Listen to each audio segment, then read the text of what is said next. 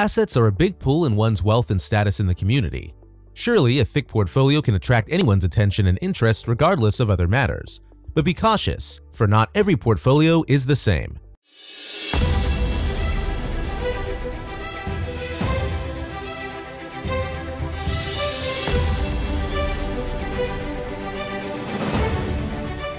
There are leveraged portfolios and unleveraged portfolios.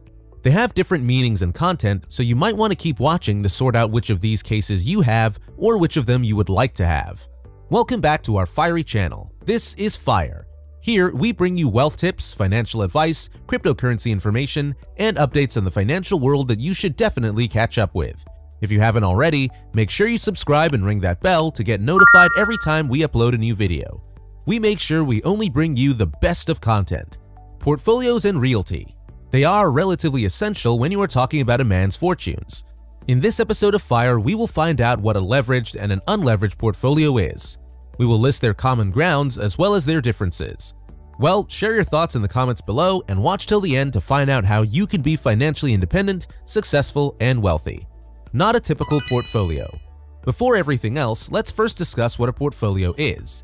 It is not a usual portfolio that people, particularly students, use for trivial content and papers. It may contain papers, but these are definitely confidential and authentic ones.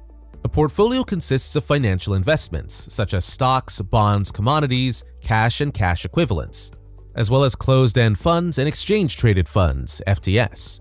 People commonly assume that stocks, bonds, and cash form the foundation of a portfolio. While this is frequently the case, it does not have to be the norm. A portfolio may include a diverse variety of assets, such as real estate, art, and private investments. You can opt to maintain and administer your portfolio yourself, or you can have it managed by a money manager, financial advisor, or another finance expert. It is highly suggested that you keep track of your portfolio and investments so you have a record of your assets. Think of an investment portfolio as a pie that has been cut into wedge-shaped pieces, each reflecting a particular asset class and or kind of investment. Although stocks, bonds, and cash are commonly regarded as the essential building blocks of a portfolio, you may create a portfolio with a variety of assets, including real estate, gold stocks, various types of bonds, paintings, and other art collectibles. At this point, you can invest in things and collectibles that you really aim for and are interested in. Leverage portfolio. What is leverage and when does a portfolio become leveraged? Leverage arises when borrowed funds are utilized to invest and develop a company's asset base in order to create profits. Leverage is also used to define the debt load a company utilizes to fund assets. With this logic, when a property or investment is considered highly leveraged, it has more debt than equity. Therefore, assets are acquired by utilizing big loans. A leveraged portfolio is one in which an investor utilizes borrowed funds to purchase part of their stocks. This has some clear risk because it might result in a loss and the investor would be responsible for repaying the borrowed funds. On the other hand, the security invested in it may yield a profit, allowing the investor to simply pay off the loan and earn a profit. Not a lot of people are fond of having leverage, but there are businessmen who take these risks just to possess estates and materials. These entrepreneurs must have a great sense of wisdom in order to navigate whether the profit will be large enough to pay off the loan and have more resources. It could actually be nice to have a leveraged portfolio because you can then invest in more properties when you have greater capital left in your savings. Unleveraged portfolio. This other portfolio is pretty much the opposite of the first one. An unleveraged portfolio operates without the need for borrowed funds. It indicates that the firm is only employing cash contributed by investors during the company's inception or when investors pour further funds into the company or purchase the company's shares. These investors are the company's equity shareholders. Equity stockholders own a portion of the company and have a residual claim on it. This means that all the money spent on the assets are the company's principal funds. Consequently, the corporation is under no legal responsibility to pay the equity stockholders because they give the funds for the company's attainment. The head of the company will then decide where these funds shall go. The inclusion of an unleveraged portfolio in capital decreases the company's risk, but it also limits the company's access to funds for potential investments. This means that there are fewer properties you can acquire, because with this type of method, that could depend on how big the investments of the equity shareholders can give. Which of these portfolios do you have or want to have? Let us know in the comments, we will be reading them. Before revealing the second half of this video, please make sure to hit the thumbs up button and share FIRE with your friends. Spread the good news of financial independence and success. Comparing these approaches A leveraged and unleveraged portfolio are both presented in terms of measuring one's capabilities regarding money and assets. Both of them also have advantages and disadvantages, and it's up to you to decide which risk you are willing to take. They are more different than they are alike.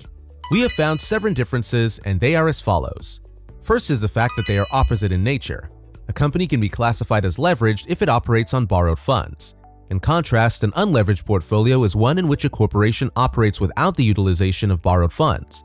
From this information, we can conclude that they have different sources of funds. One of them is borrowed, and the other is collected from a group of investors.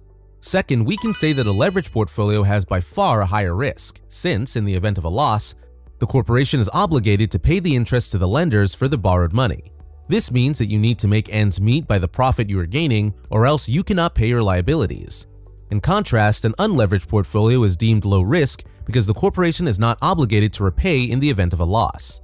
The equity stockholders are not expecting anything if the assets are low in profit.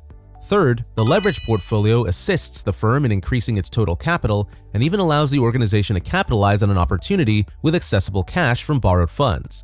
An unleveraged portfolio, on the other hand, means that the company is only using capital invested by investors during the company's structure or when investors infuse more funds into the company or purchase the company's stocks, limiting the capital and availability of money for any opportunity investment. Fourth, when it comes to the leverage portfolios, the corporation is legally obligated to repay the lenders. Banks that have granted a term loan or debentures, as well as preferred shareholders, may be considered lenders. Even if the corporation suffers a loss, it is still obligated to compensate them. In the event of an unleveraged portfolio, the corporation is under no legal duty to repay the equity stockholders. It is entirely up to the corporation whether or not to pay out a dividend to equity owners. Fifth, a leveraged portfolio protects the firm from taxation by calculating the tax to be paid after paying the interest on the term loans, debentures, or bonds, which minimizes the amount of tax payable. They make up for these taxes quickly after getting the borrowed funds. In contrast, there is no such incentive accessible to the corporation with an unleveraged portfolio. Sixth, the leveraged portfolio, in terms of bankruptcy, gives the lenders first claim on assets. If the firm declares bankruptcy, the lenders will receive the borrowed sum first. Even if the corporation has sold off its assets, it must repay the loan sum. In the case of the company's unleveraged portfolio, equity stockholders have also claimed it, but on a residual basis. In the event of insolvency, the company must pay the equity owners when all obligations have been met. The last difference is the fact that a leveraged portfolio might be a mix of equities and fixed income funds. Fixed income funds might be term loans, debentures, bonds, or preference shares. An unleveraged portfolio, on the other hand, consists solely of equity. The equity might be the capital invested by investors during the company's founding or the acquisition of the company's shares. We can readily distinguish between leveraged and unleveraged portfolios now.